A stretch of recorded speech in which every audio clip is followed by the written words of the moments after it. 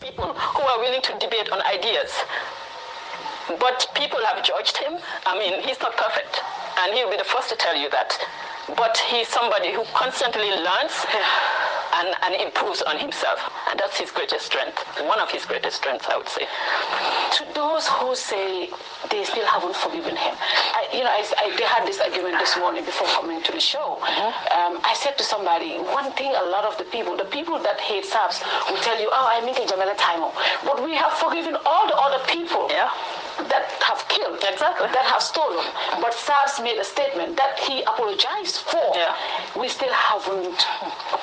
Some of us have still holding on it, to it's, that. it's what people want to hold on to. Yeah. I, I mean, I'm not making any ex- excuses for him because um, he has said what he has to say about that issue. Yeah. Um, and I keep telling him he's not very good at defending himself. Yeah. Um, I was there that night, and uh, this is the first time I'm saying that. And I remember when he came back from the GRTS or wherever it is where he, that statement was made. He normally doesn't talk to me. We're very good at separating our works from house. Yeah. And uh, he he said, "I'm really not happy with what I had to do today." And that's where I will leave it at. So I can tell you that from the day that that was done, he had had regrets about it. But that's his burden to carry. Um, the fact that people don't like him, it's acceptable. You cannot like everybody, and he he knows that. He knows that he's not everybody's cup of tea. But one thing that nobody can take away from him is the love he has for this country. Yeah. Yeah. So.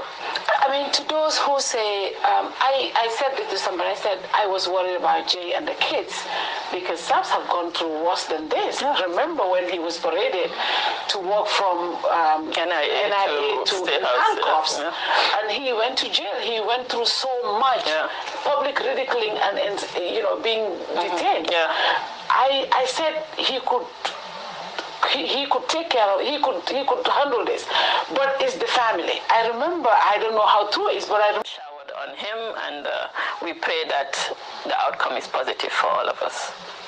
Thank you very much, Jay. I want to thank you for making time to talk to us, even though I know what your family is going through, and we want Thank to you. uh, wish you all the best. You. For me, I have said this publicly. Somebody is my brother from Lamin. I know the family, uh, their mom, all the sisters, the, his uh, Ami, and others. Yeah. You know, I know everybody in the Sure, home. sure. He is one of us, and we're very proud of who he is, Thank you. and we are also in solidarity with him because um, if he did otherwise, we are going to say it. Thank you. When when we had issues, when we believe that he was wrong, Yeah. we have said it. Yeah. We have written about it. Yeah. When we believe he's right, we are going to say you're right. Mm-hmm. And I don't see any reason why anybody should be silent about this mm-hmm. because this is more than Sabally. Mm-hmm. Just like Darboe said yesterday, this is more than Sabally. This is about all of us who have a voice, who are saying things. And it's important to put that on record. And we want to wish you all the best and to wish ourselves all the Sure. best as well. Thank you, is Fatou. family. Thank you. And I thank you very that. much. And to the rest of you, um, follow us for updates as to what happens in this case. Um, thank you very much. And Merry Christmas once again. Bye Merry bye. Christmas. and stronger as the sole ground operator. Dictatorship. The president, Adama Barrow, was part of those who pushed for this kind of government, this open space. So what happened now?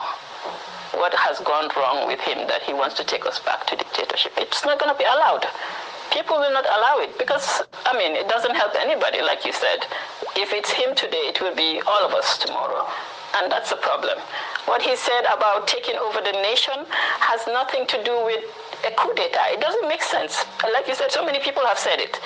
People are right now on social media saying the same thing, repeating his words. Are they going to go and arrest all of them? I mean, and then just to take a short piece out of a long speech, take it out of context, and use that to charge somebody for treason in this day and age. What that does is it really trivializes the, the charge of treason or the way we practice our law in this country. Yeah. So when we have a real case of treason, you think um, citizens or even the international community will respect our decision or our claims that we, th- this is a charge of treason. We are watering down our own legal systems. So this is beyond Sabali. And I wish everybody would know.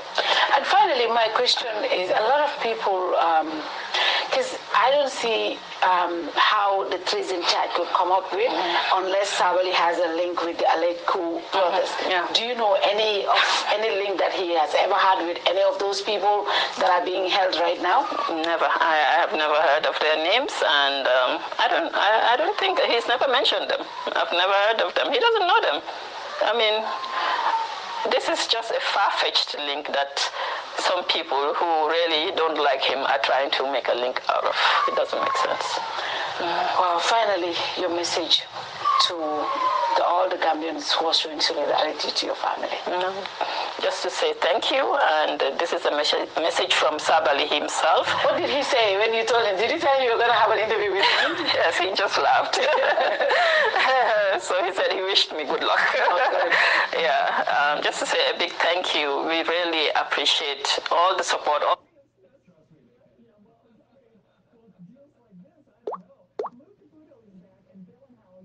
People are depending on one meal a day in the Kombos now. You cannot keep saying it has to do with global economy. Do something about it. These are the issues that affect SAPS. He talks to youths yeah. at a personal level every day. He knows their issues. Youths are frustrated. They are trying all kinds of side hustles. They're still not able to make ends meet. Those are the frustrations that are reflected in his speeches. The president should learn to listen with an open mind. And, then, and then I want to say that because he is a more of a motivational speaker. He is. And I tell him, I don't know how you do this. He is everywhere speaking to young people. Mm. He has this connection, this mm. special connection with the young people. And he always say it is the mindset that he wants to change. Mm-hmm. Do you think that is a problem? Him talking to the young people all the time? And a lot of them, people like the Bubasara and and others, they believe they believe in him. It's like uh, Taliban and certain things with some of these people that he's very close to. Do you think that's the problem? That's why people see him as kind of a threat? Well, I, I, don't see what's stopping them from also talking to the youth. Um, that's his passion. This is something he's studied over the years, how to motivate people and he's, he, he's, he just has an affection for the young people.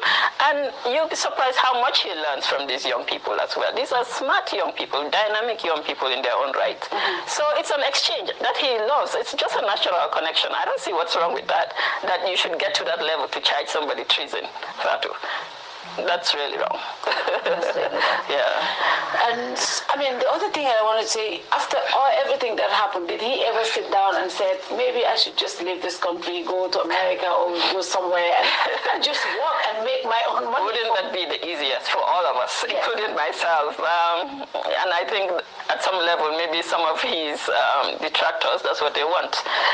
But that's he's never mentioned that. He's not. That's not his intention at all. I mean, he, like you said, he's been through worse, and he has stayed.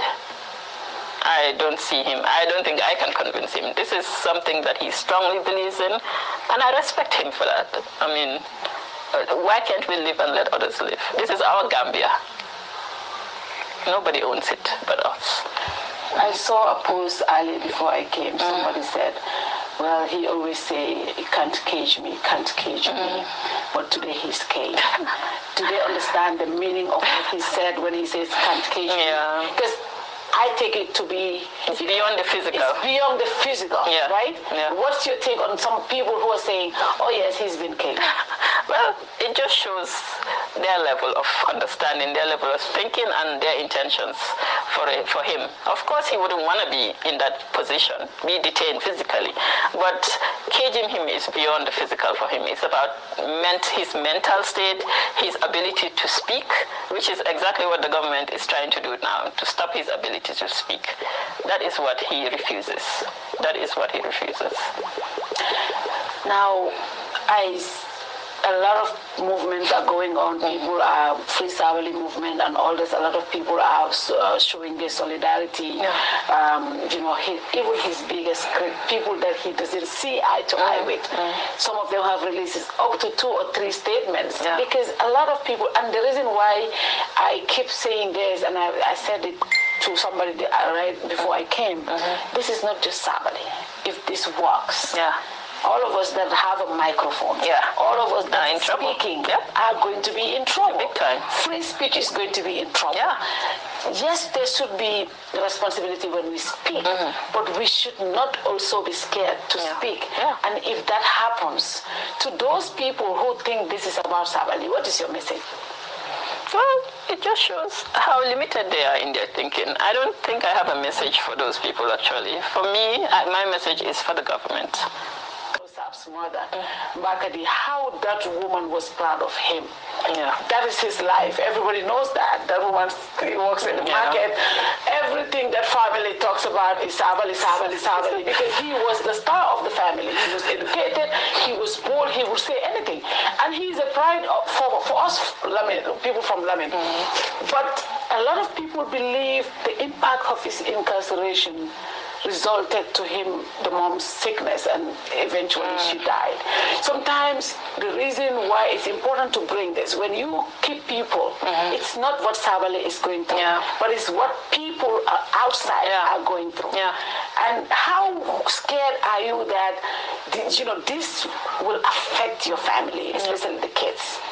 Well, um, like you said, we've been through something like this. This um, that doesn't make this time any easier, um, and. Uh, it's affecting us, um, but we try to be strong about it. We talk about it as a family. My older son, he's very good at trying to lighten the mood with us, making jokes, um, asking everybody how they're feeling. So we talk about it. We don't make it hush hush.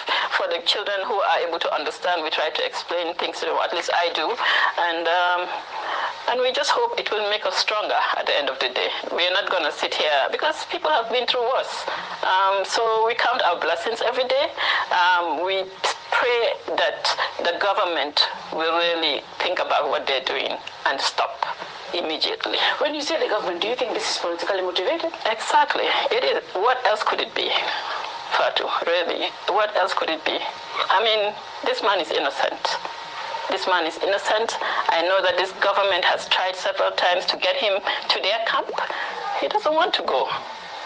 So we have seen them punish people in ways that have really made them succumb and join their camp. Sabally is not one of those people. If he wanted to go, he'll go. In the future, if he feels like that's where he wants to go, he'll go. But he strongly believes that UDP is his place. So I don't see that changing. Um, I spoke to the lawyer earlier before this, and um, he is very confident that by Tuesday they will charge him. And are you prepared for that? What are they going to charge him with? Treason. We don't know. That's what we don't know. We don't know. I, I cannot be prepared for that because they would be charging an innocent man of treason, of something he has no hand in. It just doesn't make sense. It just doesn't make sense. And this is not good for the country. People are angry. I know you've seen the political, the, the public opinion on this case. Um, it's not good. It doesn't tell well. It could be Sabally today, but if they succeed in silencing Sabally, which is what they want to do, because he's a critic of the government, then they could do it to anybody. I'm sure the president will look at this critically if, because what I, the reason why I'm saying this, government's ratings are looked at based on this, Yeah. um, how political opponents are treated. Sure. How, and today what we're seeing is all over the world. UDP campaign manager is arrested. Sure. UDP campaign, campaign manager this Yeah. and that. Yeah. And this government has made name for themselves recently Yeah. when it comes to political tolerance. I mean, today we can sit here and talk about all of these things and nobody's coming to Yeah. us.